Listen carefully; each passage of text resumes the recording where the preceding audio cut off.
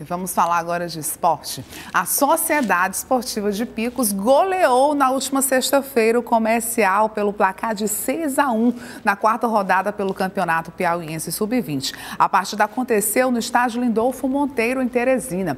Mesmo com o time de campo maior tendo aberto o placar com 1 a 0 com o gol do jogador Antônio, menos de um minuto após o jogo ter começado, o Zangão não se abalou e contra-atacou, fazendo seis gols durante a partida. Os gols foram marcados por Vitor Hugo e Jaciel, cada um com dois, e Luiz Mota e Martson.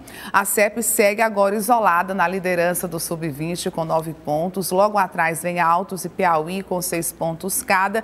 Em seguida vem Tiradentes, Coriçaba e River com três cada. E por último, na lanterna da tabela tem um comercial sem nenhum ponto.